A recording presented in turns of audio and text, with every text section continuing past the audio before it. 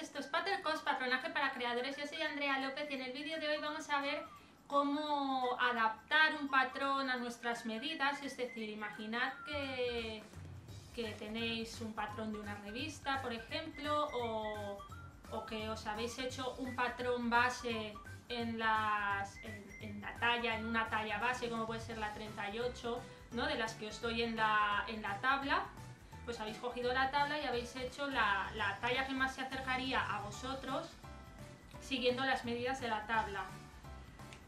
Pero lo queréis terminar de adaptar a vuestras medidas. Pues vamos a ver cuáles son los ciertos puntos importantes, ¿no? esas medidas que siempre tenemos que tener en cuenta en el patrón para poder eh, pues eso, cambiar, hacer ciertas modificaciones en, un patrón ya hecho.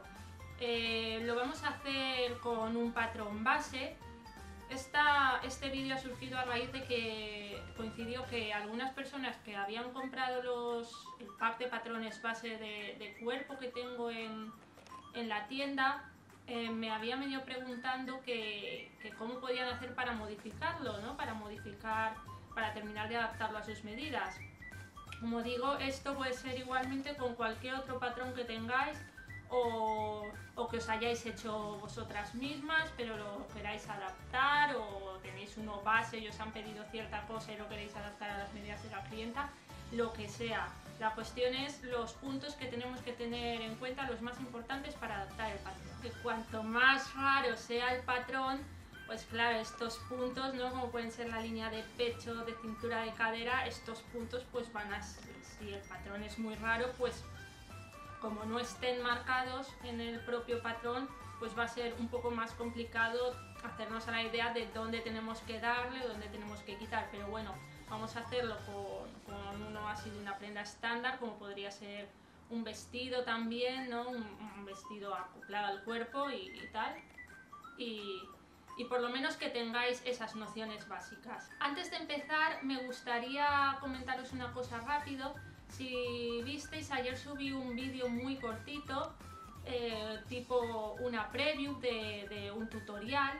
Es un tutorial que he hecho de, las enaguas que salen en el vídeo y simplemente comentar que este, este vídeo forma parte de, un proyecto, no sé si, si vosotros conoceréis Patreon, pero básicamente es como una página de apoyo a creadores y y también si me seguís pues sabéis que estoy metida bastante en el mundo de, cosplay, también pues conozco el entorno pues de, las gentes que le gusta la, recreación histórica, el, rol en vivo, todas estas cosas, entonces en este tipo de, comunidad se buscan bastante los, patrones, pues eso, de, de, prendas interiores rollo época victoriana, enaguas, corsets, todo este tipo de prendas entonces, nada, por, una suscripción mensual. Entonces, digamos que en este proyecto estoy haciendo, bueno, o voy a empezar a hacer mensualmente un, un video tutorial de, alguna prenda de este tipo cada mes. Y, nada, esos son los previews que, que vais a ver, que subiré de vez en cuando un vídeo con este tipo de cosas. Eh, si os interesa, pues nada, podéis ir al vídeo y ver la información, pero básicamente es eso, que lo que quiero decir es que el, el vídeo no va a sustituir, este tipo de vídeos no va a sustituir al contenido del canal y si subo una semana un vídeo de esos, igualmente va a estar el vídeo semanal de los tutoriales que hacemos normalmente. Y eso, que no me enrollo más, que si alguien quiere información, que me lo pregunte por privado, pero no es lo que quiero tratar en el, en el canal. Así que Nada, vamos a ello. Bien, pues estos son los patrones base. Si tenéis alguno de una revista o de algún sitio que, tengáis y, el patrón os lo dan escalado en varias tallas, más o menos esto es lo que os vais a encontrar, ¿vale? Bien sea las líneas pueden estar en diferentes colores, eh, pueden tener pueden estar en, en, la línea pues o de puntos o, o de guiones, ¿no? Pues para diferenciar las tallas. Pero básicamente esto es lo que os encontraréis. Aquellos que tengo es un pack de patrones base y la pinza está trasladada en varios puntos. Luego hay otros que llegan hasta la cadera, otros hasta la cintura. Y básicamente eso. Luego también si vais a revistas tipo el Burda, lo que pasa es que tenéis todas las piezas mezcladas y montadas unas encima de otras. Y es un poco lío, la verdad. Pero bueno, la cuestión, lo que os vais a encontrar es un patrón base de este tipo. Entonces vamos a pensar que lo que queremos es eh, aumentar el contorno de, pecho, de, cintura, ¿vale? Empezando aquí con este patrón base. Eh, cogemos la talla 46, que en este caso es la que está más para afuera, ¿vale? Para no liarnos con las líneas. Y le queremos aumentar una talla. ¿Eso qué quiere decir? Una talla mm, son unos 4 centímetros.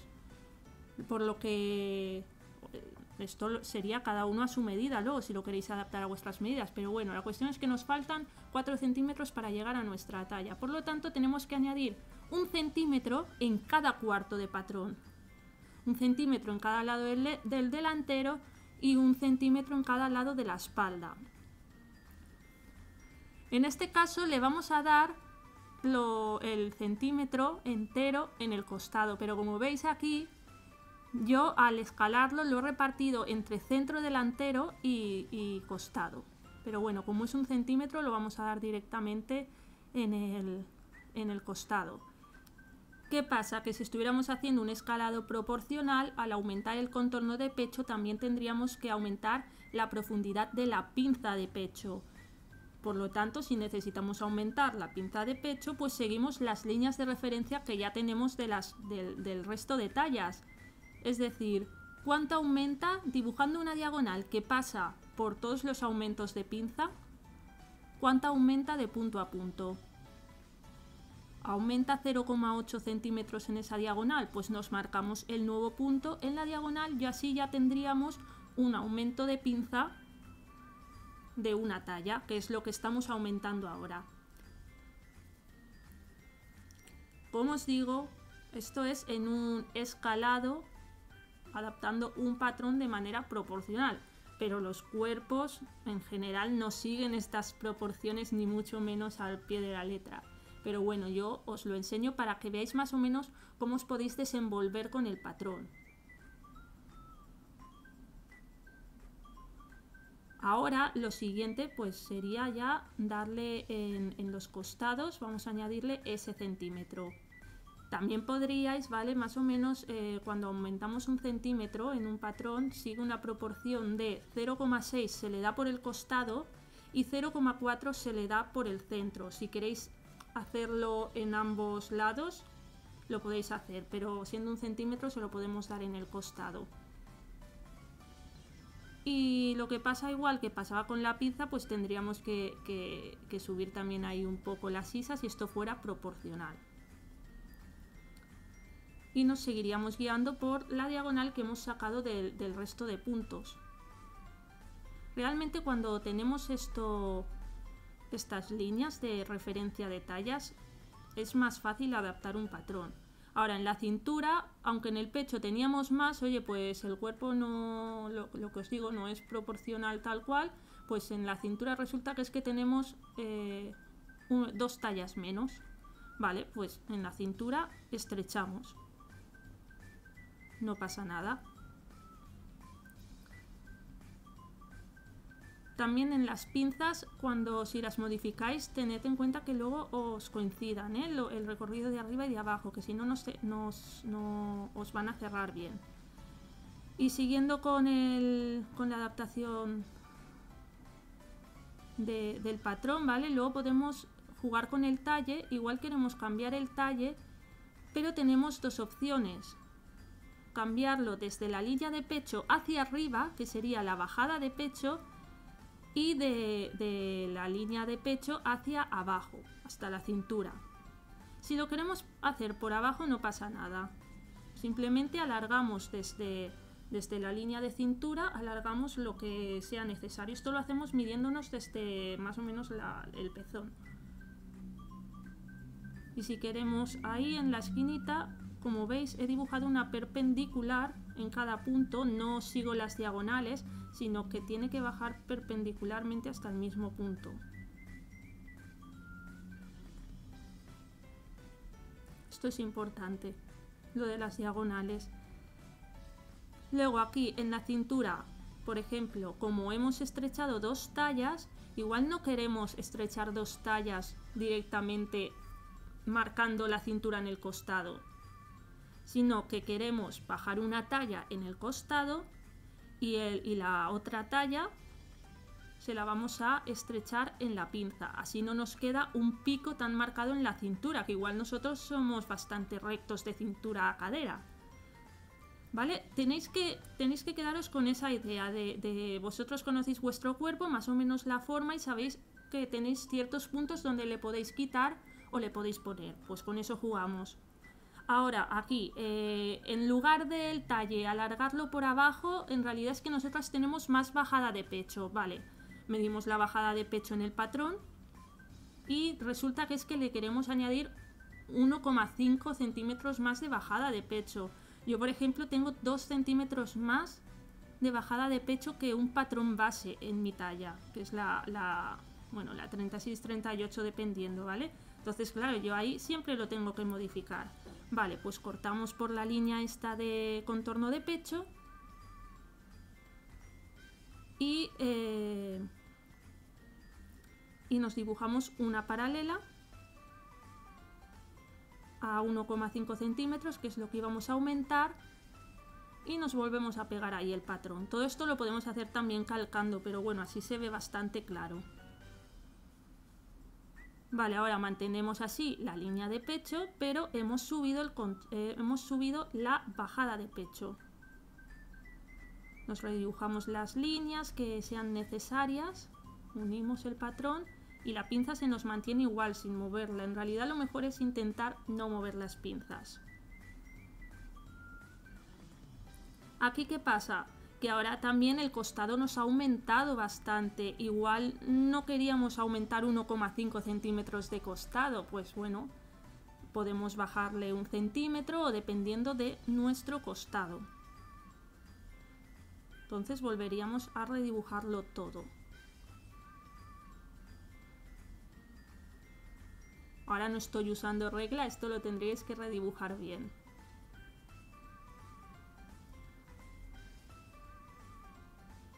¿Qué más? El escote, por ejemplo, en los patrones bases que yo os doy, los escotes son muy cerrados porque están preparados para modificar, o sea, no son para dejarlos naturales, sino para modificar. Pues bueno, le he bajado 1,5 en el, en el centro y le he abierto un centímetro en el hombro. Pues lo redibujamos. Ahora es que resulta que es que mi separación de centro-pecho es más grande. Es un centímetro más grande que la del patrón, vale. Pues la línea de centro pecho nos viene ahí en el, centro del pecho, está marcada por la pinza, suele estar marcada por la pinza del delantero y coincide con, con el pezón. Entonces vamos a prolongar esa línea, vamos a cortar por ahí y igual que hemos hecho en la bajada de pecho, haremos una paralela a un centímetro y lo separamos. De esta manera no tenemos que en principio jugar con el escote, pero también lo que podríamos hacer es poner un centímetro directamente en el centro delantero, veis que, yo tengo escalado también desde el centro delantero, pero tendríais que mover también el escote hacia, hacia la izquierda en este caso, porque si no os iba a quedar un escote muy grande.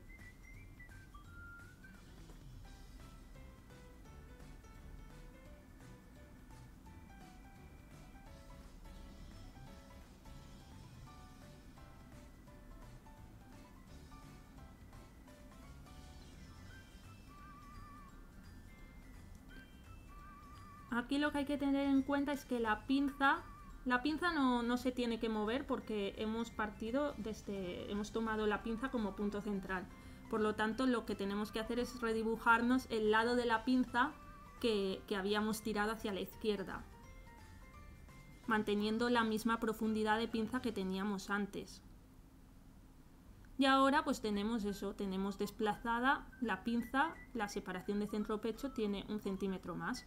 También nos redibujamos el hombro, porque nos habrá quedado un centímetro más largo que antes, que igual queríamos aumentar también el hombro, pero bueno, dependiendo, como digo, de, de las medidas a las que lo queráis adaptar.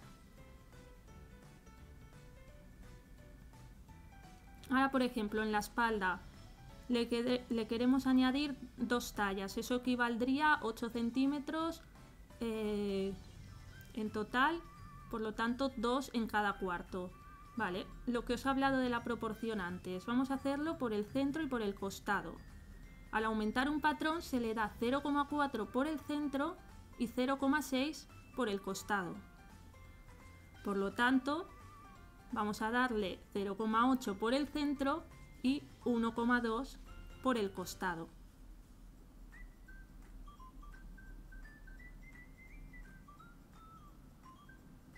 Todo esto de las, medidas de escalado de una talla a otra, en realidad, si vais a la tabla de medidas y veis cuánto hay de, una tabla a la siguiente, o sea, de una talla a la siguiente talla, eso es los centímetros que hay de una talla a, otros, a, a otra. Si en una talla la cintura mide 65 y en la siguiente mide 69, pues sabéis que por talla aumenta 4 centímetros. Ahora aquí, pues oye, le queremos bajar la sisa un poco que nos ajusta mucho, vale, la bajamos un centímetro, pero tened en cuenta que también hay que bajar el piquete de aplomo. Y queremos alargar el hombro, pues siempre hay que jugar con las, con las paralelas, o sea, con las perpendiculares. He hecho una perpendicular al centro de la espalda y a partir de ahí he medido, eh, he aumentado el hombro, la distancia del hombro. He vuelto a redibujar la diagonal del hombro. Cuando redibujamos las sisas en los hombros, un truquito es que la sisa nos venga más o menos perpendicular a la base del hombro, porque si nos viniera así, muy curvada, luego al coser nos iba a quedar ahí un pico feísimo.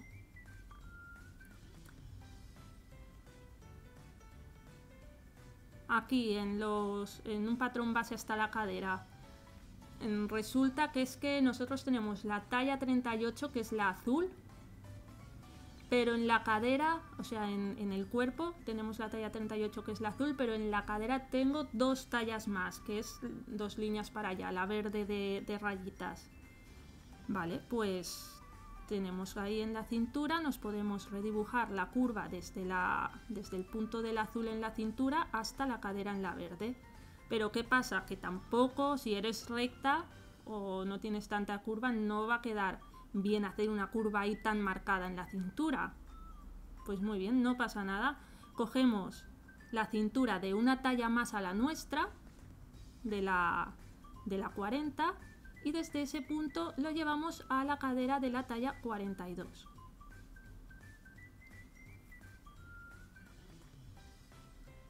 Sin embargo, vamos a mantener la bajada de cadera de la talla 38 porque nuestra bajada de cadera coincide con la talla 38. Dibujamos la curva de la cadera y ahora tenemos que recuperar los, la talla y demás que le hemos dado, que le hemos dado al, aumentar una talla en la cintura. Pues esos más o menos 0,6, bueno, son 0,6 centímetros, porque eh, ya hemos dicho que en el costado se le aumenta 0,6 y en el centro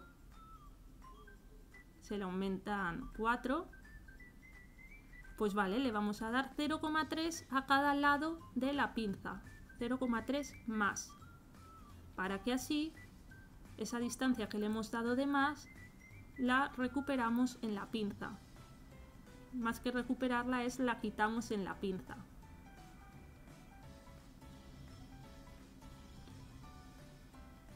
Aquí, por ejemplo, tendríais que pensar que si vais a la línea verde en la cadera no estáis aumentando completamente una talla porque en el centro hay más, tendréis que coger más aún.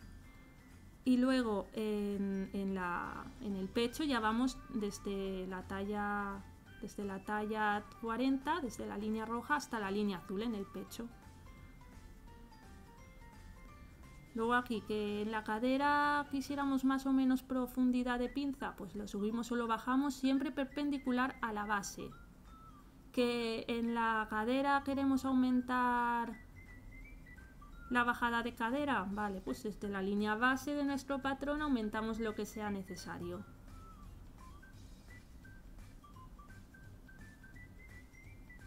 Aquí lo mismo, este está separado por costadillos en vez de tener pinzas, no pasa nada, se hace igual. Aumentamos ahí una talla en la cintura para no tener tan marcada luego la curva de cadera